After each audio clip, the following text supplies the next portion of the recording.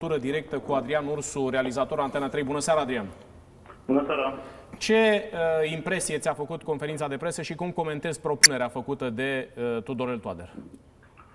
Nu neapărat la conferința de presă, aș vrea să mă refer, ci la consistența raportului. Am spus-o în toate aceste zile și anume că un uh, profesionist, așa cum este Tudorel Toader, n-avea cum să nu ofere acest set extrem de dens de argumente.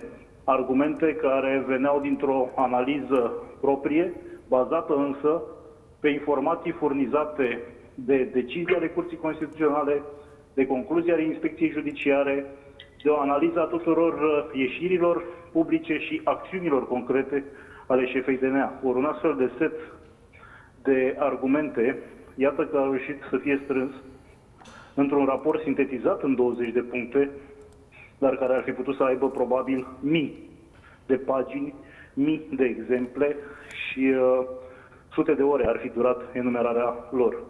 De aceea, felul în care, în mod evident, s-a încercat decredibilizarea lui Tudorel Toader, s-a încercat ridiculizarea sa, s-a încercat, chiar a fi bruiat și pe parcursul acestei intervenții publice, în mod absolut uh, scandalos, demonstrează că e teamă mare.